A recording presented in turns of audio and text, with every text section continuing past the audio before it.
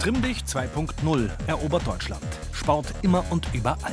Es geht einfach darum, sich selber zu überwinden, mit den Teamkameraden zusammen Gas geben. Keine Ausreden mehr. Wunderbar. Tough Mudder, Ninja Warrior, Calisthenics liegen voll im Trend. Ich bin süchtig nach Bewegung. Die eigenen Grenzen überwinden. Couch Potato war gestern. Gebt mal ein bisschen Gas, ihr seid hier bei einer Laufveranstaltung. Perfekte Körperbeherrschung, Lohn für hartes Training. Davon ein paar Durchgänge am Abend. Der ist mir schon ganz gut fertig. Beim Parkourlaufen ist die Stadt das Trainingsgelände. Man weiß eigentlich zu 100 Prozent, was man tut. Fitness als Lebenselixier, Selbstoptimierung als Ziel. Ein Limit gibt es nicht. Ja, klar gibt es diese Momente, wo man denkt, man kann nicht mehr. Aber dann hält man sein Ziel vor Augen, fokussiert es nochmal neu an und dann geht einfach weiter.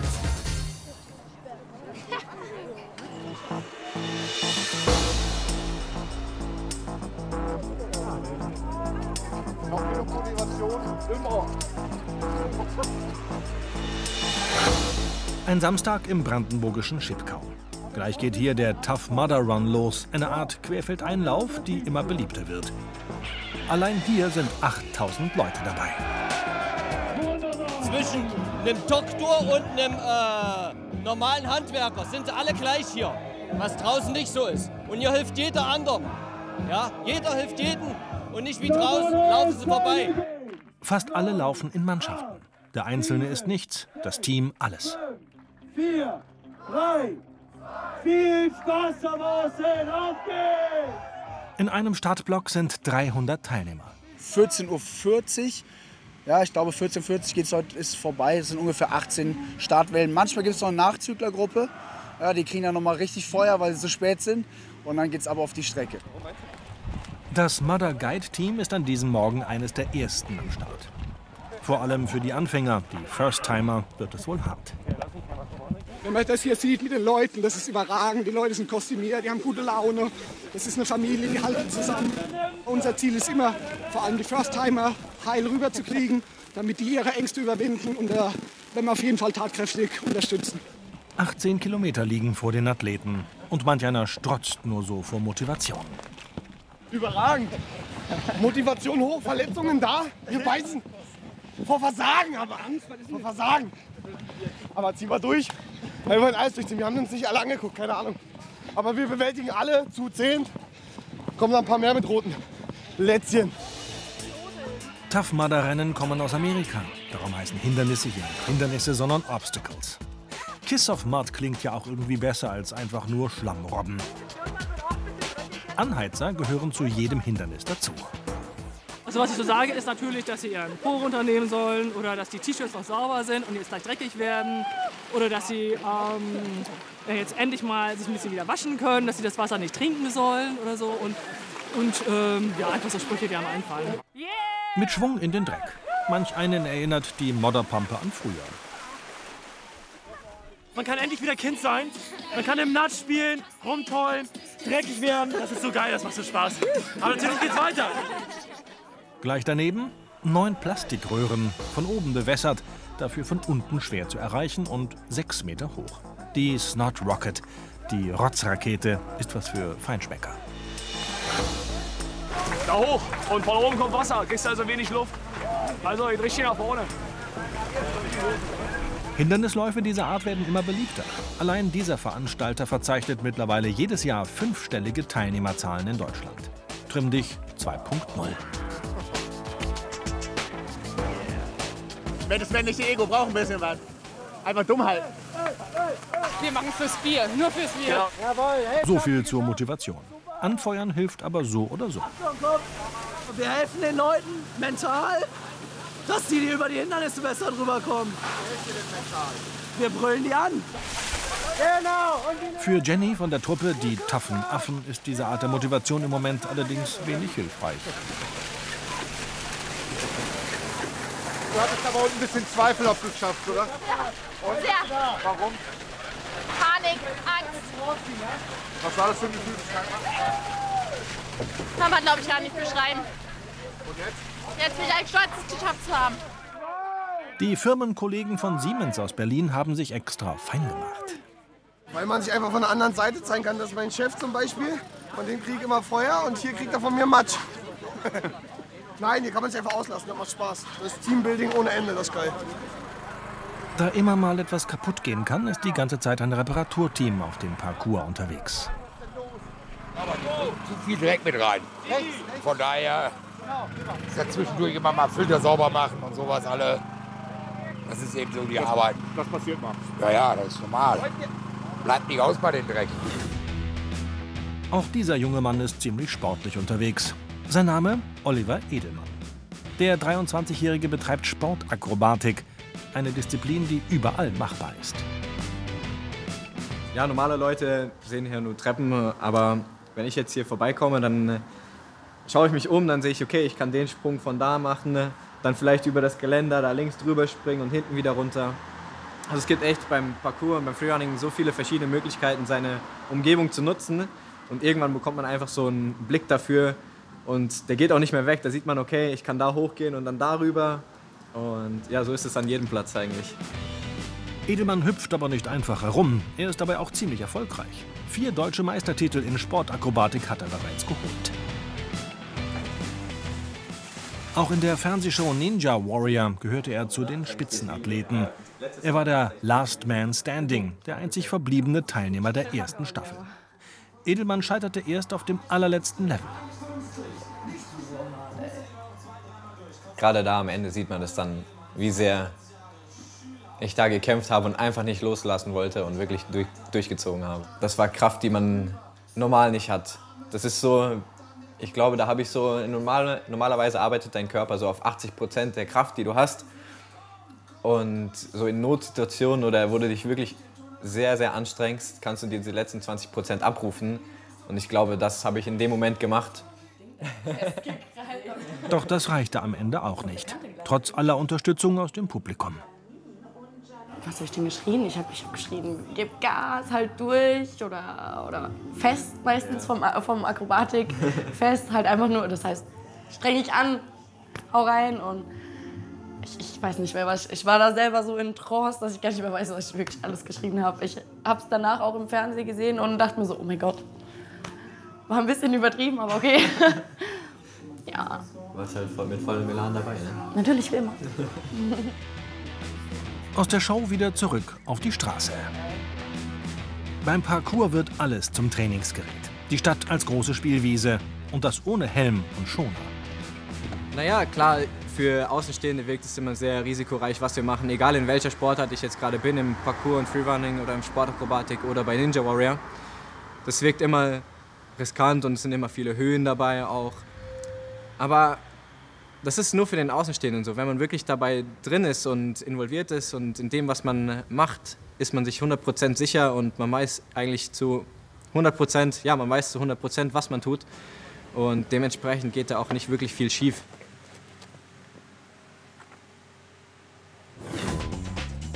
Diese Brüder haben eine Mission. Jescha und Manasse Heidel versuchen seit ihrer Kindheit stets ans Limit zu gehen und weit darüber hinaus. Jescha und Manasse wohnen noch zu Hause. Ihre Mutter kommt aus Indien, der Vater ist Deutscher. Die Familie ist Teil der Freien Christengemeinde Wiesbaden, einer Freikirche, die verlangt, das Leben auf Gott zu fokussieren. Sport ist aber auch okay.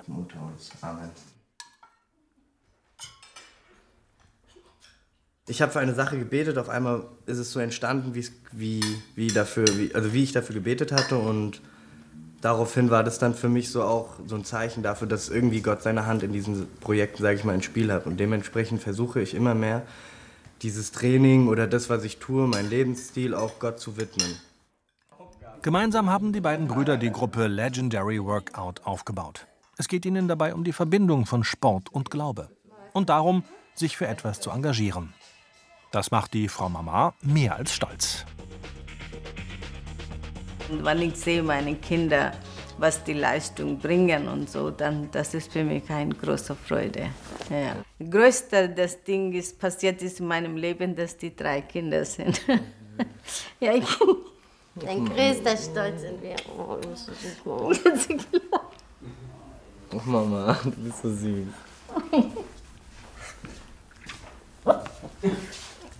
Ja, genau. Entschuldigung. Weil ich bin wirklich stolz auf den. Calisthenics heißt die Sportart, bei der nur das eigene Körpergewicht genutzt wird.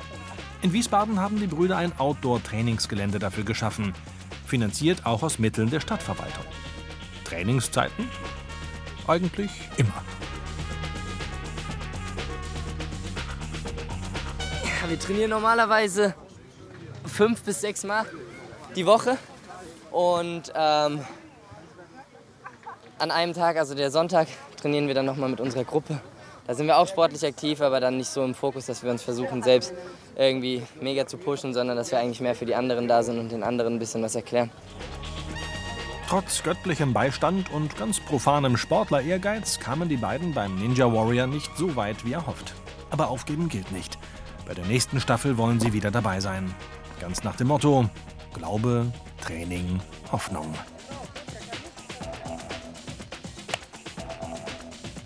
Ja, klar gibt es diese Momente, wo man denkt, man kann nicht mehr. Aber dann hält man sein Ziel vor Augen, fokussiert es nochmal neu an und dann geht es einfach weiter.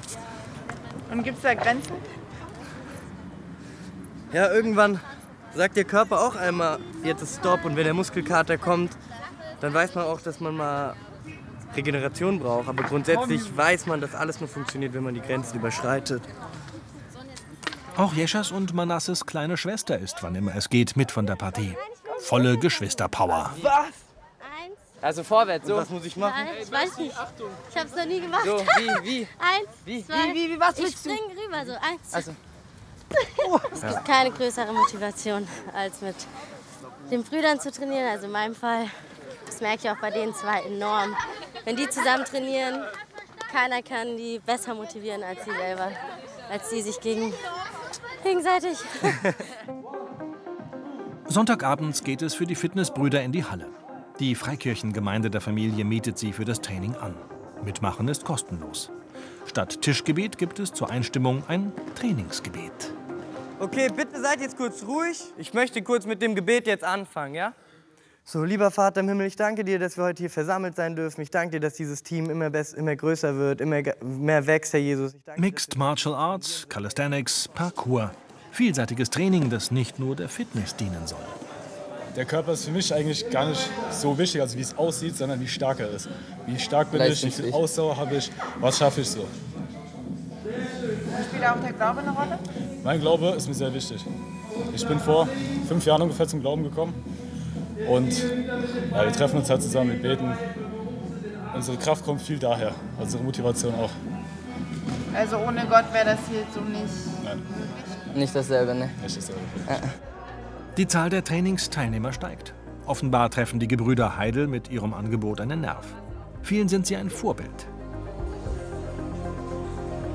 Wenn einer von denen irgendwas macht, die sind immer alle zusammen unterwegs und machen die Sachen immer zusammen. Und ja, das motiviert mich auch, gerade in meiner Familie mit meinem Bruder mehr zusammen zu machen. Mein Bruder kommt jetzt auch mittlerweile hier ins Training. Und ja, es ist einfach, einfach cool so zu sehen, wie sie diesen Familienzusammenhalt in die Gruppe rein vermitteln, aber auch in ihren Freundeskreis vermitteln. Das, ja, das ist sehr inspirierend auf jeden Fall.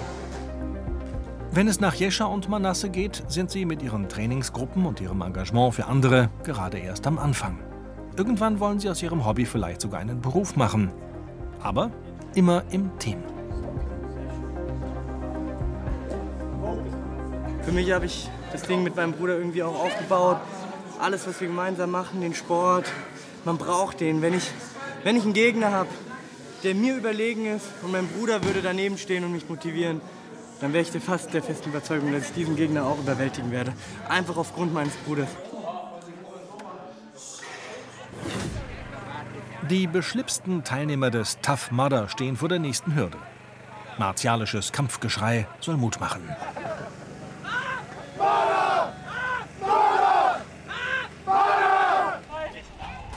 Nach der Hälfte der Strecke wartet eine besondere Herausforderung auf die Teilnehmer. Für viele ist es das Angsthindernis. Hier heißt es Zähne zusammenbeißen. Das Wasser hat gerade einmal 4 Grad.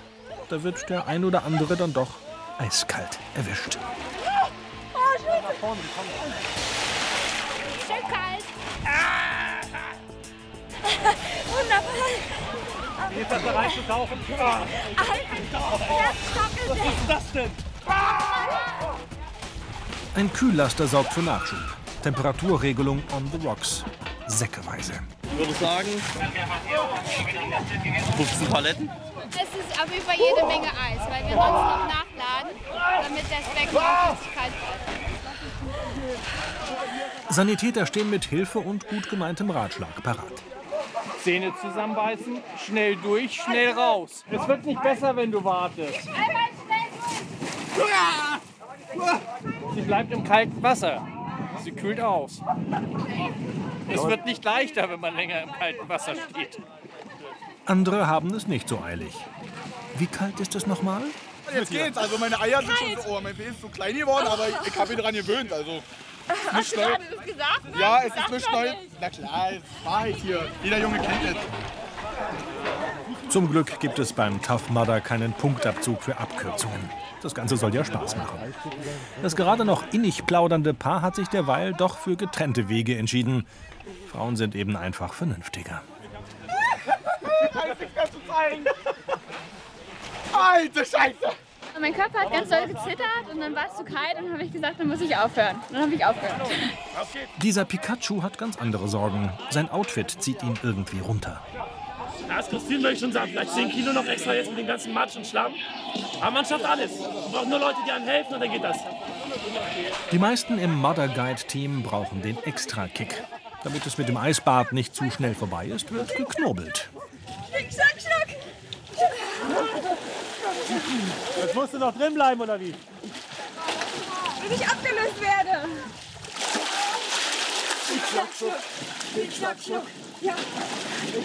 Und was hilft am besten gegen Kälte? Genau, Bewegung. Also, weiter geht's. Jetzt Ninja-Style. Für Michael Wohlfahrt ist die Kletterei ein Klacks. Der 31-Jährige war schon bei der Ninja Warrior Show dabei. Fitness ist sein Job.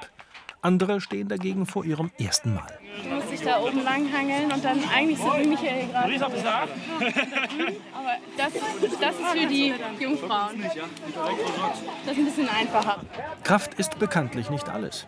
Wenn es für Klimmzüge nicht reicht, muss es eben auch mal anders gehen. Voll geschummelt. Voll geschummelt. Schon. Eigentlich kacke ich, jetzt probieren soll. Ich habe keine Armkraft. Der Langhangeln ist einfach zu schwer.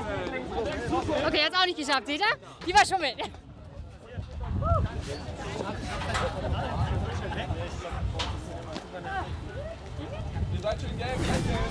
Auch in Hamburg gibt es einen Ninja Warrior, der in der Fernsehshow alles gegeben hat.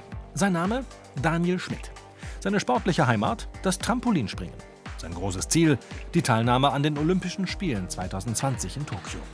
Dafür trainiert Schmidt auf höchstem Niveau. Ninja-taugliche Fitness ist schon jetzt das Resultat.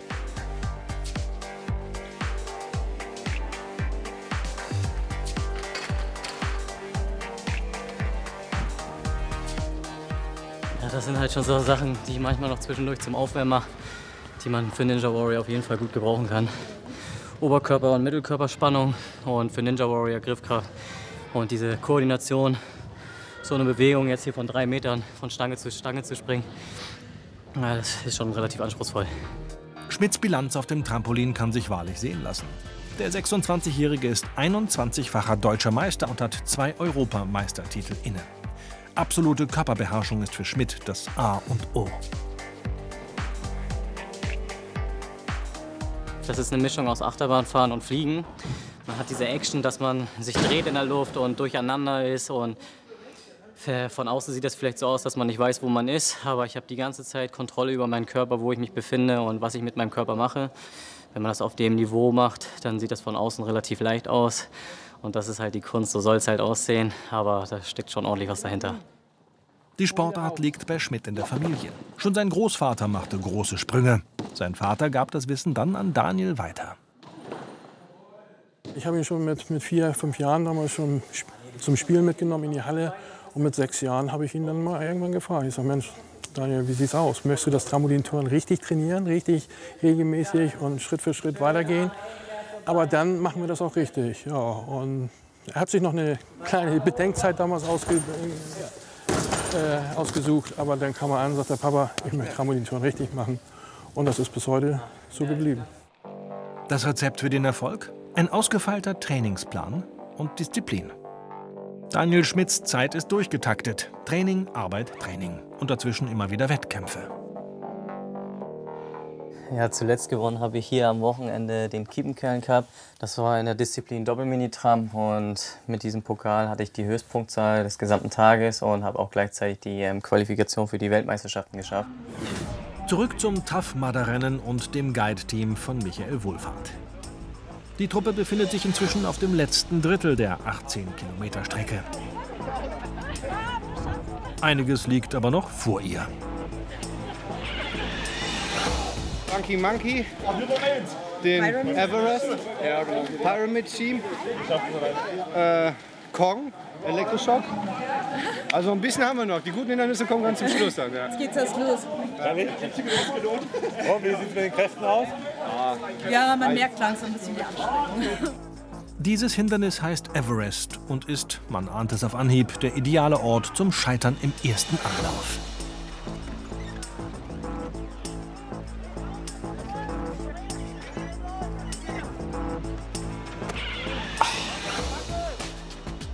Geschwindigkeit plus Schlamm und Wasser gleich Rutschbahn. Da bleibt nicht jedes Nasenbein gerade. Nur die Harten kommen in Garten. Was ist denn passiert?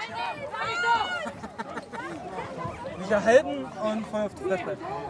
Ja, hauptsächlich äh, Platzwunden, weil die Leute ja einfach beim Abrutschen oder dann aufhauen, man kann nochmal aufhauen. Das letzte schon Regen, das ist halt, ist halt jetzt alles sehr klitschig. Laufen Sie denn jetzt noch weiter die letzten Meter? Für die Siemens-Kollegen ist keine Anstrengung zu viel, kein Spruch zu abgedroschen. Wie wär's mit dem? Keiner bleibt zurück. Oder dem. Jede Kette ist so schwach wie ihr dickstes Glied. Auch nicht ein zweites Mal. Versuche hat jeder Teilnehmer übrigens, so viele er eben braucht.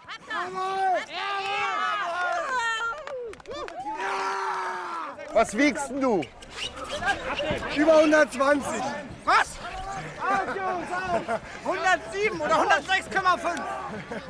Mit dem Matsch. Michael Wohlfahrt hat schon mehr als 50 dieser Events gemeistert. Im Garten hat er einen eigenen Ninja-Parcours.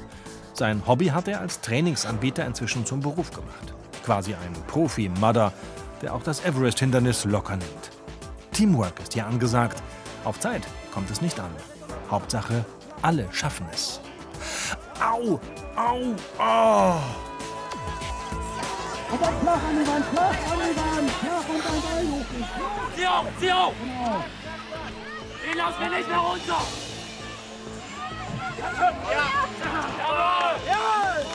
Wenn dann jeder einen Arm packt, einen Fuß packt von einem, und man wird hochgezogen. Und wenn das nicht geht, dann ist dann vom Teamgefühl schon cool.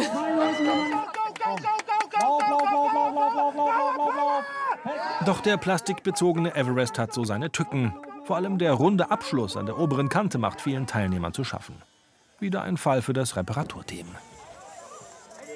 Normalerweise können die so, laufen die hoch und packen die hinter der Dachlatte, aber die helfen die trotzdem noch mit. Das ist hier oben natürlich jetzt ein Hindernis noch zusätzlich. Und das ging nicht, haben zu viele nicht geschafft, oder wie? Ja, ja. Und sie verletzen sich zu viele hier. Das war das Problem, glaube ich. Diese Outdoor-Spektakel werden erst seit einigen Jahren angeboten.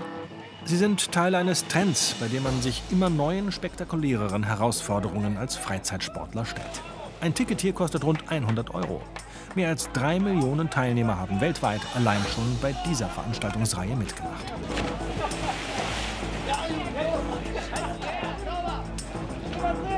Auch Sebastian alias Pikachu war schon öfter dabei.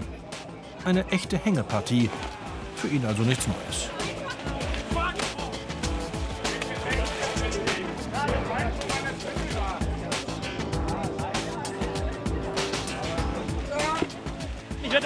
Verarscht, weil ich ihn noch nicht geschafft habe. Zehnmal ist er schon reingefallen. Und ich habe gedacht, heute mit dem Kostüm, mit 10 Kilo extra, da kann das was werden. Dann könnte ich richtig sagen, yo, scheiße, ey, das ärgert mich echt. Bisschen mehr klettern gehen zu Hause. Gut, aber du hast natürlich das Kostüm an, ne? Das ist keine Ausrede, ne? Macht sich ja selber schwerer. Manches erinnert hier an die Grundausbildung bei der Bundeswehr. Nur, dass hier alle freiwillig mitmachen. Raus aus dem Alltag. Macht Spaß, abwechselnd. Wenn man es einmal macht, entweder macht man es nochmal oder nie wieder. Das ist, ist einfach so. Also ich glaube, es gibt die Leute, die machen danach halt noch 20 Stück oder gar keine. Unter den Teilnehmern findet sich sogar ein echter Veteran der Trimm-Dich-Bewegung. Das ist mein Mann. Hat er zum 60. Geburtstag geschenkt gekriegt. Ich habe früher bei Spiel ohne Grenzen mitgemacht. Vor vielen Jahren, Spiel ohne Grenzen in Limburg an der Lahn. Und da haben wir auch solche Sachen gemacht, nur mit viel Schmierseife und äh, Bällen und solchen Geschichten. Ne? Und äh, das hier ist das Ähnliche, nur für alle. Hier kann man einfach so mitmachen. Ne? Macht einen riesen Spaß. Wenn er mir es nicht geschenkt hätte zum Geburtstag, wäre ich wahrscheinlich nie dazu gekommen. Aber jetzt bin ich nicht das letzte Mal hier. Das Besondere bei diesen Events, niemand schaut auf die Stoppuhr. Es geht nicht um die schnellste Zeit, sondern um den meisten Spaß.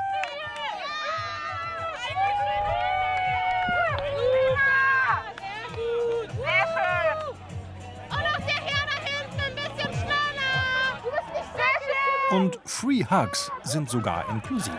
Warum seid ihr denn so dreckig? Weil die Leute uns immer anfassen. Weil sie uns bekuscheln. Die wollen lieber kuscheln als laufen. Ja. Trampolinspringer Daniel Schmidt ist nicht nur Leistungssportler, sondern auch Polizist. Der 26-jährige Polizeimeister verrichtet seinen Dienst in einer Hundertschaft der Hamburger Bereitschaftspolizei. Nicht nur beim Sport, auch bei der Wahl seines Berufes hat sich Schmidt ein Beispiel genommen an seinem Opa und seinem Vater, ebenfalls beide Polizisten. Man sagt natürlich gerne dann mal, ja, hattest du überhaupt eine andere Wahl, eine andere Chance, aber die hatte ich auf jeden Fall. Ich habe ein Schülerpraktikum damals gemacht in der 10. Klasse, hat mir sehr gut gefallen und ja, vielleicht war man so ein bisschen vorgeschädigt, äh, schon durch die Familie, aber mir macht es auf jeden Fall sehr viel Spaß und ich komme mal gerne hier ins Haus auf jeden Fall und arbeite. Zu Dienstbeginn steht erstmal Frühsport auf dem Plan. Guten Morgen. Wenn wir gleich laufen, werden wir es immer so machen, dass falls irgendeiner abreißen sollte, der wird wieder eingefangen. Also bitte keinen Kopf machen. Wir sind ein wenig unterwegs und wenn ihr zurücklauft, bitte immer so, dass ihr auch noch tatsächlich ankommen könntet. Irgendwelche Fragen? Sehr gut. Dann laufen wir jetzt los. Wie praktisch, dass der Hamburger Stadtpark nur ein paar hundert Meter vom Polizeipräsidium entfernt liegt. Ideales Trainingsgelände.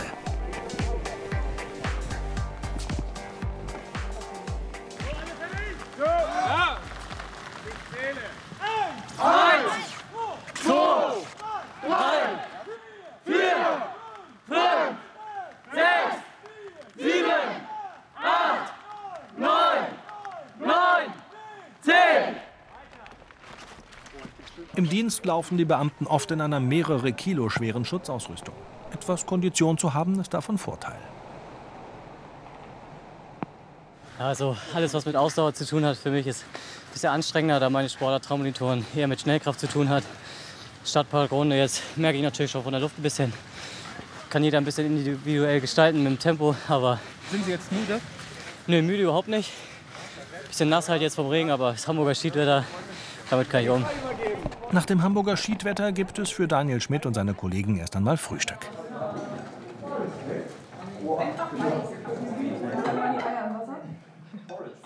Ich kann eigentlich alles essen, da ich mich so viel bewege, habe ich kein Problem mit Gewichtszunahmen oder so. Je gesünder ich esse, desto fitter fühle ich mich natürlich und deswegen achte ich ein bisschen drauf mit Obst, Gemüse, ähm, Süßigkeiten natürlich im, im Maße, aber ich nasche sehr, sehr gerne, auch Schokolade und Süßigkeiten, also Weingummis. Ähm, was ich nicht so oft mache, ist jetzt irgendwie McDonalds oder sowas, aber äh, sonst darf es alles sein. Im Kreis seiner Kollegen will Schmidt niemand Besonderes sein, trotz seiner sportlichen Erfolge. Ja, er ist einfach ein witziger Typ, ne? ein smarter Typ, aber trotzdem nicht abgehoben. Trotzdem er eben öffentlich bekannt ist. Ist schon cool. Diesmal springe ich von Level zu Level und mache den Endgegner platt. Let's go! Christian Balkheimer war schon zweimal in der Show dabei. Beim ersten Mal kam er sogar bis ins Finale.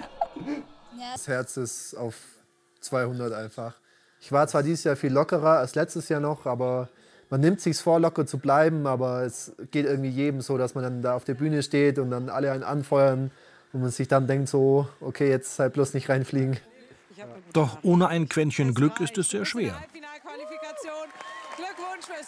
Wenn man ja weiß, dass er alles soweit kann. Er hat das Können, die Geschicklichkeit hat er, aber man weiß halt, dass der Tollpatsch manchmal durchdringt und man hofft dann einfach und man ist wirklich sehr nervös und das Herz schlägt bis in die Ohren. Bei seiner zweiten Teilnahme kam er immerhin ins Halbfinale. In dieser Scheune in Leipheim hat sich Christian seinen eigenen Ninja Warrior Traum verwirklicht. Okay, jetzt sind wir hier bei mir in der Halle, in der Scheune. Ähm, das Grundstück gehört eigentlich meinem Nachbarn und ähm, der lässt mich hier die ganzen Spielzeuge reinbauen. Und es sind ungefähr 500 Quadratmeter, ist alles selber gebaut hier, alles mit viel Zeit und viel Langeweile entstanden. Und immer wenn ich mal Semesterferien habe oder Zeit, dann baue ich was Neues oder wenn ich was Cooles sehe oder eine coole Idee habe, dann lasse ich mir was einfallen und bastel ein bisschen rum. Mehr als fünf Jahre dauerte der Aufbau der 30 Hindernisse. Obwohl viele Geräte Geschenke von Sportvereinen sind, gut 5000 Euro hat er investiert. Okay, hier seht ihr das berühmt-berüchtigte Windspiel. An dem bin ich letztes Jahr im Finale gescheitert. Habe ich dann natürlich gleich nachgebaut, weil ich das üben wollte. Ähm, einfach ein Stahlrohr, Gripbeschichtung drauf, Seil durch. Und ich zeige euch einfach mal, wie das funktioniert, weil das kann man sich immer nicht so leicht vorstellen. Christian hat Elektriker bei Airbus gelernt. Den ganzen Tag musste er vor einem Mikroskop sitzen, um gelötete Verbindungen zu kontrollieren. Das war nichts für den Kletterer und Kampfsportler. Er schmiss den Job, holte das Abi nach und studiert jetzt Sport in München. Seinen Lebensunterhalt verdient er als Trainer in einer nahegelegenen Boulderhalle.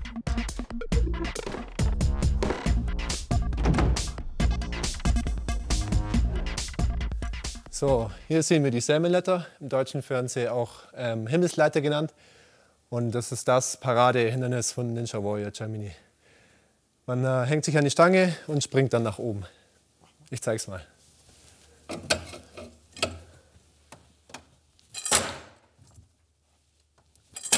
Man kann auch einen auslassen.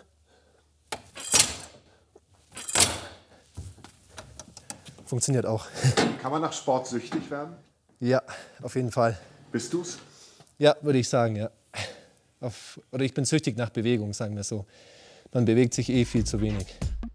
Ein guter Ninja Warrior benötigt Kraft, Ausdauer, Koordination und Konzentration. Jeden Donnerstag treffen sich in der Halle Gleichgesinnte zum Training. Umsonst. Christian will allen Parkour-Verrückten einen Spielplatz bieten. Dicke Muckis sind dabei nicht entscheidend. Ich glaube, Ninja Warrior ist halt sehr interessant, dass du nie weißt, wie stark wirklich der Athlet ist. Und dass du sehr überrascht wirst im Fernsehen. Andersrum genauso sehr muskelbekackte Leute nicht sehr weit kommen. Wichtig auch gutes Eigenmarketing.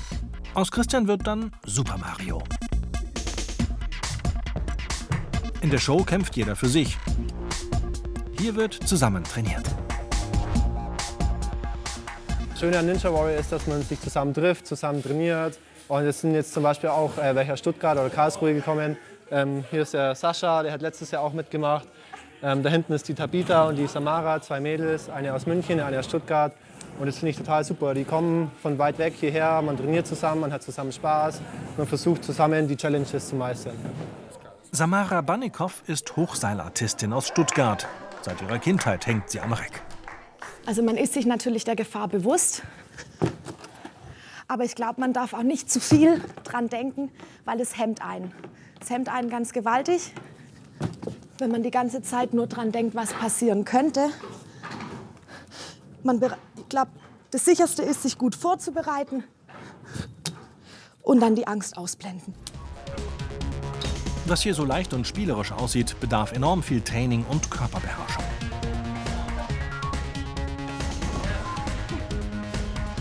Christian jedenfalls hat noch einiges vor hier in der Halle ja immer weiterbauen, noch mehr Hindernisse bauen, größer werden. Vielleicht eines Tages noch eine größere Halle bauen und umziehen. Mal schauen. Also mein Ziel wäre schon, vielleicht das auch Ganze dann äh, professionell, beruflich zu machen, eine riesen Anlage zu öffnen, wo Ninjas zum Trainieren kommen können. Und ja, das wäre so ein bisschen mein Ziel.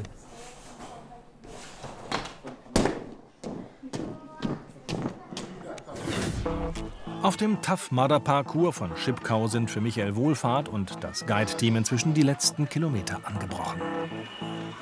Jetzt kommt noch mal ein richtig geiles Teamhindernis. Wir haben jetzt schon mal einen Schlachtplan entwickelt, wie wir hochkommen. Mal gucken, ob es aufgeht. Das Hindernis ist die sogenannte Pyramide. Eine steile und vor allem ziemlich rutschige Kunststofframpe. Allein geht da gar nichts. Immer einer weitergereicht nach oben durch. Und dann oben liegt dann einer und der zieht die Leute. Micha ist jetzt gleich oben, der dreht sich um und zieht den Rest ab. Bei Michael und Co. hört sich das nicht nur in der Theorie ganz gut an. Es klappt auch ziemlich gut in der Praxis. Okay, für Akrobatik im Cheerleader-Style reichen diese schlammigen Formationen nicht wirklich aus. Aber egal, dank vorbildlicher Haltungsnoten schafft es auch der Letzte aus der Mother Guide-Truppe Flux nach oben. Füße an die Leiste, dreimal nebeneinander, zwei drüber und alles fertig ist die Pyramide.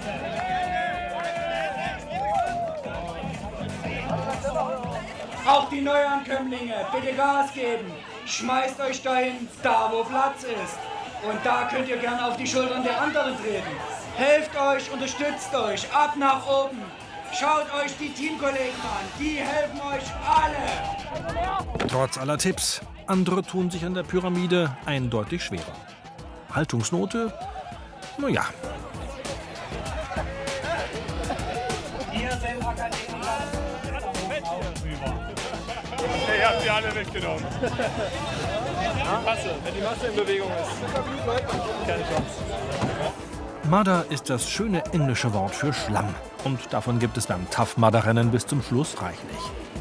Beim sogenannten Block Ness kommt zur schlammigen Brühe auch noch die technische Herausforderung.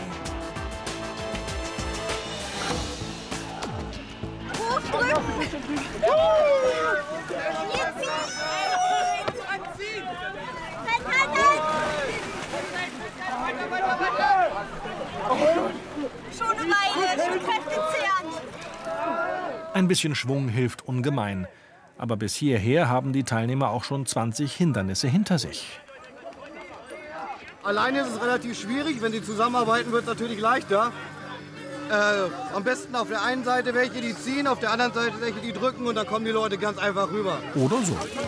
Spezielle Technik von uns. Wir bleiben möglichst lange auf dem Block, ziehen da möglichst viele Leute drüber, bringen das Ding in Schwung. Ja, ist relativ effektiv. Einfach den Balken wie einen Hähnchenspieß drehen. Gewusst wie. In Hamburg steht bei der Bereitschaftspolizei das Training eines Demo-Einsatzes an. Trampolinass Daniel Schmidt wechselt heute mal die Seiten, spielt in der Übung einen Anhänger des schwarzen Blocks. Einmal die Störer, wir treffen uns mal vor dem Block. Daniel und seine zivil gekleideten Kollegen stellen gewaltbereite Störer auf einer Demonstration dar. Nicht lange und die Gruppe greift die anrückenden Polizisten mit Wurfgeschossen an.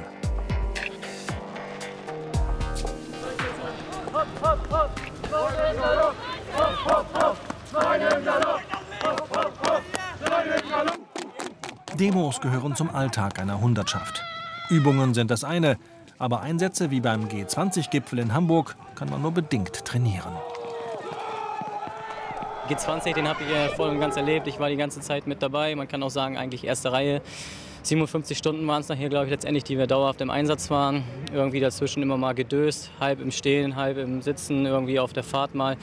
Ansonsten hat man eigentlich echt alles miterlebt und das war körperlich war das eines der anstrengendsten Sachen, die ich bis jetzt gemacht habe.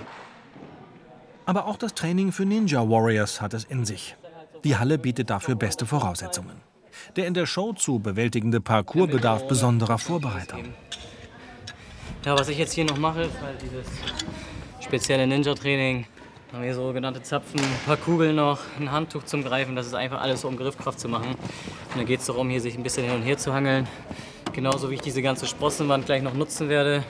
Da kann man die sogenannte Himmelsleiter ganz gut trainieren und das ist halt alles Oberarmkraft und alles andere mit Koordination, Gleichgewicht, Balance. Das habe ich so schon ganz gut bei mir im Training drin, aber da kann ich hier auch noch ein paar Übungen machen in der Halle. Das waren jetzt vielleicht so 30 Sekunden, aber ich merke es jetzt schon in den Armen und davon ein paar Durchgänge am Abend. Der ist mir schon ganz gut fertig. Sogar für einen Top-Athleten wie Trampolinmeister Schmidt ist Ninja Warriors eine Herausforderung. selbst wenn man die Wände hochgehen kann. Und Klassiker von Ninja Warrior, wer so weit kommt, ist natürlich die Wall. Und die kann ich hier in der Halle trainieren und deswegen versuche ich jetzt mal hier hoch zu laufen. Der nächste Wettkampf kann kommen.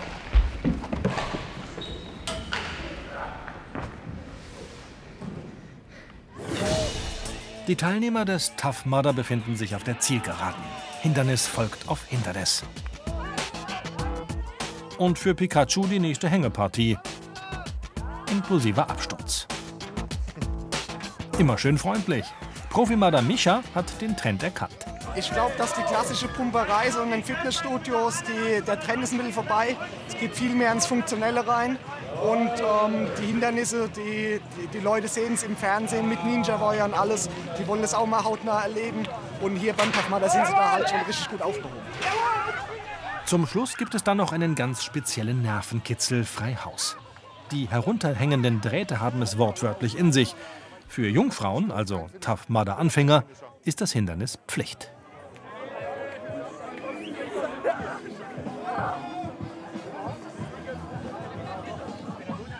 Wie ein Kuh, Kuhweidezaun. Ja. Äh, schmerzhaft. Und das, ist richtig geil, so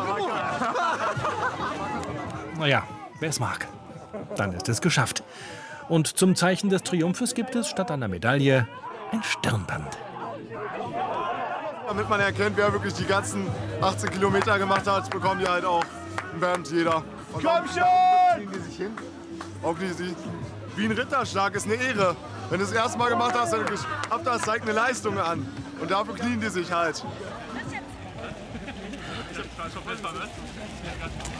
Quälerei, Kälte, Schmutz und blaue Flecken. Der Weg ist ja bekanntlich das Ziel. Und hier lang genug sogar für ein wenig Poesie. Der Kopf tut weh, die Füße stinken. Höchste Zeit, ein Bier zu trinken. Darf ich noch wen grüßen? nee. Endlich angekommen. Durstig, erschöpft, aber glücklich. Sag mal, wie geht's denn jetzt, Pikachu? Oh, ich bin so ein bisschen durch. Mein Kostüm ist kaputt, meine Schuhe sind beide kaputt. Aber eine richtig geile Nummer wieder mit den Leuten. Hat super viel Spaß gemacht, aber auch echt anstrengend. Gut vier Stunden hat die Gruppe am Ende für den Schlammparcours gebraucht. Keine Bestzeit, aber darauf kommt es ja auch nicht an. Okay, auf geht's.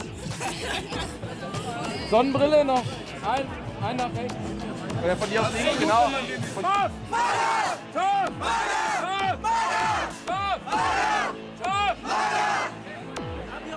Torf!